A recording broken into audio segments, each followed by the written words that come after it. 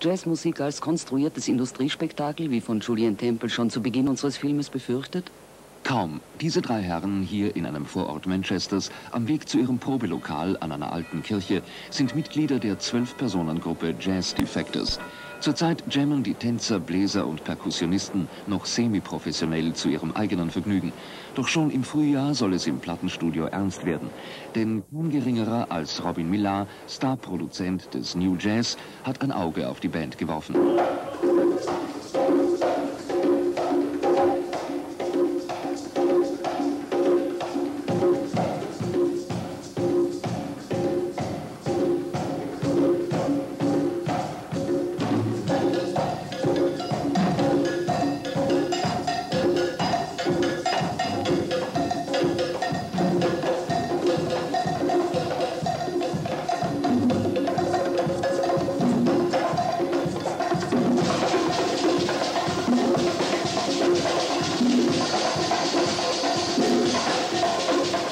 Die Jazz Defectors vereinen wahrscheinlich am besten die drei Ingredienzien, die den New Jazz repräsentieren.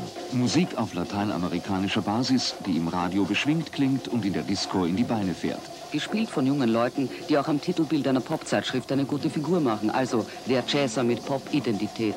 Schließlich seit 1977 erstmals wieder das Bestreben, Virtuosität, Gefühl und Seele in die Musik zu legen. Nach Jahren des Drei-Griffe-Punk und des vorprogrammierten Synthesizer-Pop treten erstmals wieder Leute auf, die versuchen, durch Üben bessere Musiker zu werden, anstatt durch immer teurere optische Gimmicks das Publikum zu blenden.